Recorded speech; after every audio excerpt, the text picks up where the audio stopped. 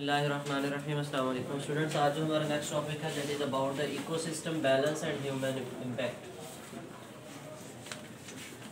ecosystem balance and human impact यानी हमारे ecosystem में बैलेंस कैसे है और इंसानी ज़िंदगी के या ह्यूमन के, इंसान के क्या असरात हैं हमारे इकोसिस्टम के ऊपर? आपने इकोसिस्टम की डेफिनेशन पढ़ी थी? क्या थी इकोसिस्टम की डेफिनेशन ये ऐसा एरिया है सेल्फ सफिशिएंट यूनिट है इस कायनात में, जिसमें बायोटिक और ए बायोटिक कंपोनेंट्स आपस में क्या करते हैं? इंटरेक्ट करते हैं। बायोटिक और ए बायोटिक कंपोनेंट्स क्या करते हैं आपस में? इंटरेक्ट करते हैं। फिर हमने कहा था जो ए बायोटिक कंपोनेंट्स हैं या बायोटिक कंपोनेंट्स हैं, अल्लाह ताला ने उनका बैलेंस रखा हुआ है। उनका क्या रखा हुआ है? बैलेंस वो कौन से ऐसे साइकिल्स थे जो हमारे पास चीज़ों को लिविंग से नॉन लिविंग में नॉन लिविंग से लिविंग में सर्कुलेट और रिसर्कुलेट करते रहते थे। कार्बन साइकिल नाइट्रोजन साइकिल इनका हमने इकट्ठा नाम पढ़ा था जिसका नाम क्या था? बायो जियो केमिकल साइकिल क्या नाम पड़ा था? यानी बायो जियो केमिकल साइकिल ऐसा साइकिल है, ऐसा साइक्लिक पाथवे है जिसके अंदर तमाम मिनरल्स तमाम जो रिसोर्सेज थे वो बैलेंस होते रहते। क्या होते रहते? बैलेंस होते रहते। इसीलिए था ना कि अगर सारी की सारी कार्बन डाइऑक्साइड हवा से हम लेके फोटोसिंथेसिस करके जमा करते रहे ऑर्गेनिक कंपाउंड में तो एक वक्त आएगा कि कार्बन डाइऑक्साइड हवा में खत्म हो जाएगी। वो सारी की सारी फोटोसिंथेसिस के ज़रिए हम उसको ऑर्गेनिक कंपाउंड्स में कन्वर्ट कर देंगे। अगर रेस्पायरेशन ना हो, फिर रेस्पायरेशन होती थी, वो ग्लूकोज को या बाकी मॉलिक्यूल्स को वापस कार्बन डाइऑक्साइड में कन्वर्ट करती थी। तो इसी तरह से दो दो फिनोमेना इकट्ठे चलते थे और चीज़ों को क्या रखते थे? बैलेंस रखते थे। लेकिन वो कहता है कि इसके ऊपर ह्यूमन इम्पैक्ट क्या है? इंसान के क्या असरात हैं? ह्यूमन एक्टिविटीज़ की वजह से क्या हो रहा है? हमें पता है कि अब हमारी वजह से दरख्त कम हो रहे हैं ज़्यादा हो रहे हैं? कम हो रहे हैं। Cutting down of the trees is called deforestation deforestation के नतीजे में हम अपने इकोसिस्टम का बैलेंस इम्बैलेंस कर रहे हैं ख़राब कर रहे हैं। जो पहले चीज़ें बैलेंस थी हमारे माहौल में तोज़ुन में थी जितनी चाहिए थी उतनी थी उनकी परसेंटेज नॉर्मल थी लेकिन ड्यू टू ह्यूमन एक्टिविटीज़ हमने अपनी सरगर अपनी जो ज़रूरियात ज़िंदगी है उनको पूरा करने के लिए हमने दरख्तों को काटना शुरू कर दिया।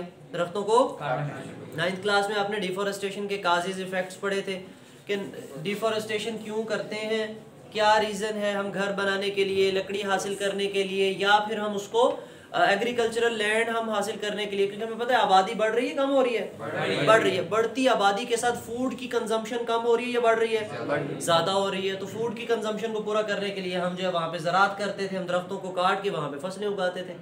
लेकिन दरख्तों को तो हमने काट दिया ना तो जब हम दरख्तों को काट देंगे तो इसका मतलब हम इकोसिस्टम का बैलेंस मेंटेन नहीं नहीं रख रहे। जिसके नतीजे में बहुत से ऐसे असरात नुमाया होते हैं जो आप लोगों ने पढ़े हमें पहले भी ग्लोबल वार्मिंग का नाम सुना?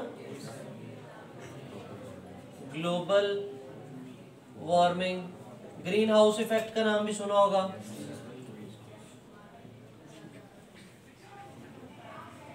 एसिड रेन, पॉल्यूशन, किसी भी चीज़ टाइप की पॉल्यूशन हो सकती है। मे बी एयर पोल्यूशन में भी लैंड पोल्यूशन में भी सॉइल पोल्यूशन ये सारी की सारी चीज़ें बेटे किसमें है? इकोसिस्टम के इम्बैलेंस में है। इकोसिस्टम के यानी ये सारी चीज़ें इकोसिस्टम का बैलेंस खराब करती हैं। इकोसिस्टम का बैलेंस खराब ह्यूमन एक्टिविटीज़ की वजह से पहला जो इफ़ेक्ट हुआ दैट इज़ ग्लोबल वार्मिंग वो कहता है ग्लोबल वार्मिंग किसे कहते हैं? ग्लोबल सिर्फ़ हमारा किसी एक जगह का मसला नहीं है पूरे ग्लोब का पूरे एटमोसफेयर का प्रॉब्लम है। किसका प्रॉब्लम है? हम कहते हैं कि जब हमने एक तरफ़ दरख्त कम करना शुरू कर दिए और दूसरी तरफ़ हमने कोल की या ऑर्गेनिक कंपाउंड जितने भी फोसल फ्यूल हम बोल दें। फोसल फ्यूल बोले, ये अच्छा लफ्ज है। सारी चीज़ें आ जाएँगी उसके अंदर। हमने फोसल फ्यूल जो है, उसकी कंजम्पशन या हम कह दें कंबस्शन वो बढ़ा दिए उसकी कंबस्शन उसका जलना बढ़ा दिया है। जब भी कोई ऑर्गेनिक कंपाउंड जलाया जाता है जब भी कोई organic compound you know the organic compound consist of carbon and hydrogen oxygen भी होती है तो हम ज़्यादातर कार्बन के कंपाउंड है। ऑर्गेनिक कंपाउंड है जब हम उनको जलाते हैं ऑक्सीजन की मौजूदगी में तो कौन सी गैस बनती है? कार्बन डाइऑक्साइड गैस बनती है। अब ये जो कार्बन डाइऑक्साइड गैस है इसी तरह बहुत से प्लांट्स एनिमल्स जो मर जाते हैं गल सड़ जाते हैं उनमें से मिथेन गैस भी निकलती है। कौन सी गैस निकलती है? मिथेन मिथेन गैस का क्या फॉर्मूला होता है? सी एच फोर ठीक है? अब ये जो गैसेस हैं कार्बन डाइऑक्साइड है या मिथेन गैस है ये हमारे एटमॉस्फेयर के अंदर ज़्यादा हो रही है या कम हो रही है? ज़्यादा हो रही है। यानी कार्बन डाइऑक्साइड की मिकदार बढ़ रही है। कार्बन डाइऑक्साइड की मिकदार अब ये जो बढ़ती हुई कार्बन डाइऑक्साइड की मिकदार है हमारे लिए फ़ायदा मंद है नुकसानदेह है? कैसे नुकसानदेह है? कहते हैं कि ये हमारी अर्थ के गिर्द, हमारी ज़मीन के गिर्द, हमारे प्लेनेट के गिर्द लेयर बना लेती हैं। क्या बना लेती हैं? लेयर बना लेती हैं। हवा से हल्की होती है, ऊपर चली जाती हैं। हवा से हल्की होती हैं, ऊपर चली जाती हैं और ओजोन के नीचे, आपने पढ़ा ना केमिस्ट्री में स्ट्रेटोस्फेयर हमारे एटमोसफेयर की लेयर्स का नाम, उसके अंदर एक तय होती है जो ओजोन है। हमें आसमान नीला क्यों नज़र आता है? ड्यू टू ओजोन, क्योंकि ओजोन का कलर ब्लूइश होता है ना? ओजोन का कलर ब्लूइश होता है, इसलिए हमें आसमान कैसा नज़र आ रहा होता है, नीला नज़र। तो ओजोन की तह के नीचे ये गैसेस जाके जमा होना शुरू हो जाती हैं। यानी पहले हमारे पास ओजोन की लेयर है लेट के ये ब्लू वाली ओजोन की लेयर है, उसके नीचे हमारे पास ये कार्बन डाइऑक्साइड और बाकी गैसों की लेयर बनना शुरू हो जाती है। ठीक है? अच्छा अब होता क्या है ग्लोबल वार्मिंग कैसे होती है? हम कहते हैं, जब सूरज से आने वाली रेडिएशंस हैं वो बेटे हाई एनर्जी की होती हैं। वो कैसी होती हैं? जो हाई एनर्जी की रेडिएशंस होती हैं उनको हम यूवी रेडिएशंस कहते हैं। क्या कहते हैं? UV radiations UV radiations mean ultraviolet radiations आपने वो स्पेक्ट्रम पढ़ा ना कलर्स का? कितने कलर होते हैं? Seven violet indigo blue green और ऑरेंज येलो रेड कितने होते हैं? सेवन कलर्स कितने होते हैं?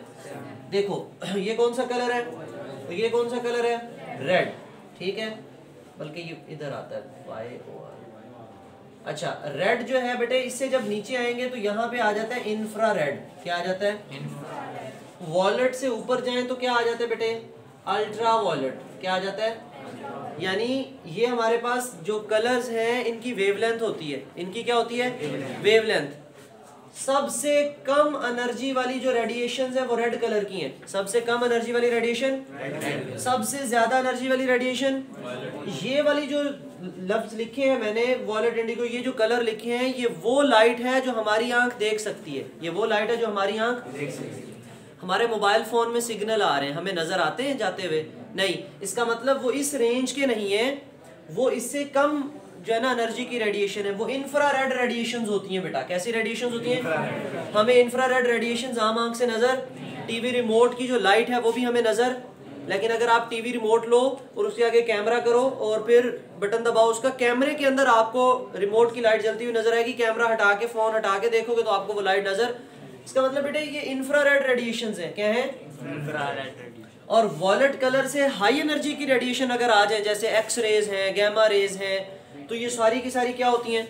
अल्ट्रा वॉलेट है। क्या है? यानी वॉलेट कलर से ज़्यादा एनर्जी है इनकी। वॉलेट कलर से और इधर रेड कलर से कम। वो कहते हैं सूरज से आने वाली जो रेडिएशन है वो ultraviolet ultraviolet radiation है यानी वो हाई एनर्जी रेडिएशन है। कैसी हैं? तो जब वो हाई एनर्जी रेडिएशन है तो हमारी इस ओजोन को और इस जो लेयर है इसको क्रॉस करके नीचे आ जाती हैं। और ओजोन भी कम हो रही है नहीं हो रही? ओजोन डिप्लीन हो रही है। ओजोन होल जनरेट हो रहे हैं। तो जहाँ से ओजोन कम होती है वहाँ से अल्ट्रा वायलेट रेडिएशन क्रॉस करके कहाँ पे आ जाती है? हमारी ज़मीन पे आ जाती है। कहाँ आ जाती है? ज़मीन पे आ जाती है। जैसे ही वो ज़मीन पे आके टकराती है रेडिएशन तो वो अपनी एनर्जी किसको दे देती है? ज़मीन को। किसको दे देती हैं? अर्थ को। या किसी भी चीज़ को आके टकराती हैं। अब दरख्तों पे पड़ रही है या किसी भी जगह पे आके वो रेडिएशन जा रही है तो पानी में भी जा रही है इवन तो वो पानी का टेम्परेचर क्या कर देंगी? राइज कर देंगी। तो वो अपनी एनर्जी जिस भी चीज़ से टकराएँगी उस, उसको अपनी एनर्जी मुंतकिल कर देंगी। उसको अपनी एनर्जी एक लिमिटेड टाइम में जितनी एनर्जी मुंतकिल होनी है कर देंगी बाकी एनर्जी रेडिएशन तो होगी लेकिन उसकी एनर्जी क्या हो जाएगी? कम. रेडिएशन तो होगी उसकी एनर्जी कम हो जाएगी। तो अल्ट्रा वॉलेट रेडिएशन आ रही थी हाई एनर्जी की रेडिएशन आ रही थी लेकिन जैसे ही ज़मीन को टकराई इसने अपनी एनर्जी शिफ्ट कर दी किसमें? अर्थ में। अब वो इतनी कम एनर्जी हो गई कि वो अल्ट्रा वॉलेट से बेटे इंफ्रारेड रेडिएशन में कन्वर्ट हो गई। किसमें कन्वर्ट हो गई? इंफ्रा रेड क्यों कहते हैं? रेड कलर से? कम। तो जब इसने अपनी एनर्जी सारी की सारी किसको दे दी? अर्थ को दे दी तो सारी की सारी तो नहीं दी कुछ बच गई इसके पास। तो पहले हाई एनर्जी थी, अब इसकी एनर्जी हाई थी तो यूवी कहला रही थी लोअर होगी तो आई आर कहला रही है इंफ्रारेड रेडिएशन कहला रही है। अब ये जो इंफ्रारेड रेडिएशन है, अब ये ज़मीन को टकरा के रेडिएशन वापस जा रही है। ज़मीन को टकरा के ये रेडिएशन अब जब जा रही है, पहले तो हाई एनर्जी की थी, इस कवर में से गुजर के नीचे। लेकिन अब जब वापस जा रही है तो अब इस कवर को क्रॉस मैं अक्सर एग्जांपल देता हूँ, बंद गाड़ी की, कार की एग्जांपल देता हूँ। अगर आपने शीशे ऊपर किए हुए और कार को धूप में खड़ा करके चले जाओ गर्मियों में तो सिर्फ़ दस मिनट में ही वापस आ जाओ आप। तो गाड़ी के अंदर ज़्यादा गर्मी होती है एज कंपेयर टू आउटसाइड क्यों? क्योंकि गाड़ी के जो शीशे हैं, उनके अंदर अल्ट्रावायलेट रेडिएशन तो जा रही हैं। हाई एनर्जी की होगी क्रॉस कर जाएँगी, जाके सीट को टकराएँगी, अंदर जो चीज़ें पड़ी हैं, उनको टकराएँगी, अपनी एनर्जी उधर मुंतकिल कर देंगी। लेकिन जब वो शीशे वापस टकरा के बाहर आएँगी तो शीशे से बाहर निकलने की सलाहियत उनमें तो वो सारी की सारी रेडिएशन की एनर्जी वापस उन्हीं चीज़ों में जज्ब हो जाएगी। उन्हीं चीज़ों में जज्ब हो जाएगी। तो वो सारी की सारी एनर्जी जब उन चीज़ों में जज्ब हो जाएगी तो वो पूरे उस इलाके का टेम्परेचर क्या हो जाएगा बेटे? राइज हो जाएगा। इलाके का टेम्परेचर राइज तो बेटा जिसके नतीजे में हमारी अर्थ का टेम्परेचर कम हो रहा है ज़्यादा हो रहा है? सिर्फ़ हमारा या पूरी दुनिया का? This is called global warming this is called अब आहिस्ता आहिस्ता हमारी ज़मीन का टेम्परेचर क्या हो रहा है? जिसके नतीजे में क्या इफेक्ट्स आएँगे? वो कहता है हमारे जो पोलर आइस कैप्स हैं वो पिघलना शुरू हो गए। पोलर आइस कैप्स जब वहाँ से पिघलना शुरू हो गए तो वो बर्फ़ जो है वो ज़्यादा बन रही है कम। तो पिघलना मेल्टिंग का जो सिलसिला है वो ज़्यादा हो गया। जिसके नतीजे में जब भी हमारे पास सैलाब गर्मियों में आता है सर्दियों में। गर्मियों में। सर्दियों में तो सारे का सारा पानी जम जाता है ना। गर्मियों में फिर जब ज़्यादा गर्मी पड़ती है तो फिर वो सारे का सारा पानी जो है, वो नदी नालों में आना शुरू हो जाता है। मेल्टिंग का प्रोसेस फास्ट हो जाता है, जिसके नतीजे में फ्लडिंग होती है। क्या होती है? तो बहुत से ऐसे मैकेनिज्म्स हैं, जो किससे लिंक्ड है बेटे? ग्लोबल वार्मिंग से लिंक्ड है। तो जब आइस कैप्स पिघलते हैं तो हमारे पास जब नदी नाले जो है ना, वो पानी किसे भर जाते हैं तो आपको पता है ये सारा दरियाओं का या नहरों का पानी किधर जाता है अल्टीमेटली समंदर में। तो समंदर जो सी लेवल है वो राइज हो रहा है डाउन हो रहा है। राइज हो रहा है। अब इसी से रिलेटेड जो है ना वो कहता है कि आपके पास सी जो है वो एक्सपेंड कर रहे हैं। सी के क्या कर रहे हैं? एक्सपेंड आपके पास मालदीव एक जजीरा है उसकी जो है ना वो उसके सर्वाइवल की बात की है कि जजीरा किसे कहते हैं? आइलैंड किसे कहते हैं? जो जिसके चारों तरफ़ समंदर हो दरमियान में खुशकी का एरिया हो टुकड़ा हो। तो मालदीव के चारों तरफ़ समंदर है। वो कहता है कि तकरीबन इसकी जो ऊंचाई है वो समंदर से एक मीटर ऊँचा है। समंदर से यानी one metre is equal to how many centimetres hundred centimetre यानी एक मीटर है तो इसका मतलब कितने सेंटीमीटर है? सौ सेंटीमीटर है।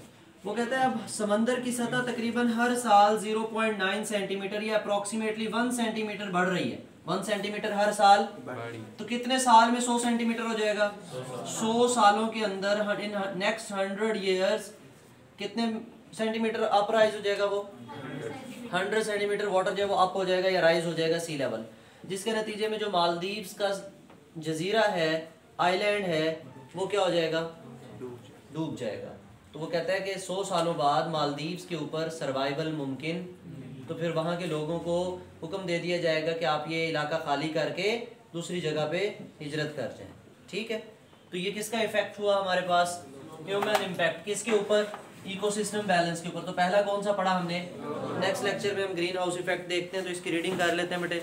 ग्लोबल वार्मिंग शॉर्ट क्वेश्चन के तौर पे पूछा जाता है। इंपॉर्टेंट चीज़ें हैं, आप फिजिक्स में भी पढ़ के आए हो केमिस्ट्री में भी पढ़ रहे हो बायो में भी पढ़ते हो आप। Ecosystem balance and human impact the interaction among the organisms and between the organism and abiotic components of their environment produce steady and balanced ecosystem वो कहता है, ये सारा इकोसिस्टम बैलेंस था, लेकिन अब क्या हुआ?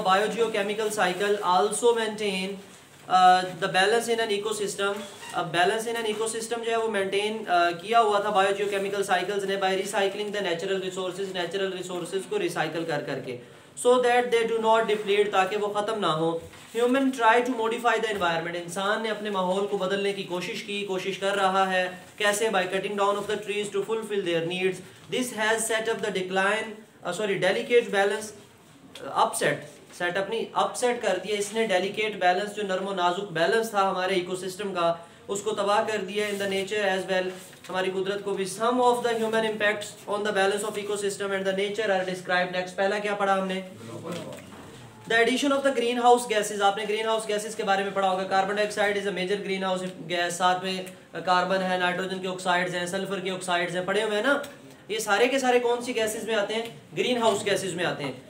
In the atmosphere increases the temperature of the earth these gases remain in the lowest part of the earth atmosphere and do not allow the solar radiation to reflect back into the space ये radiation को वापस जाने नहीं देती क्यों नहीं देती क्योंकि उन एनर्जी क्या हो जाती है उनकी कम as a result heat remains within the earth atmosphere and increases the temperature this is called पूरा पैराग्राफ ही लिखना है आपने ग्लोबल वार्मिंग शॉर्ट क्वेश्चन अगर आ जाए तो ड्यू टू ग्लोबल वार्मिंग अब इफेक्ट्स क्या है ग्लोबल वार्मिंग के polar ice caps and glaciers are melting faster than the time taken for the new ice caps layer to form नई बनती नहीं है पुरानी पिघले जा रही हैं sea water is also expanding causing the sea level to rise due to melting glaciers the rivers overflow and causes floods uh, similarly Maldives survival scientists fear that साइंसदानों को खतरा है कि uh, sea level is rising up up to 0.9 centimeter each year rise in the sea level has a worst effect on the coastal countries जो साहिली इलाके हैं साहरी पट्टी होती है, वो ज़्यादा मुतासर होती है। Some of the island of the Maldives are less than one metre above the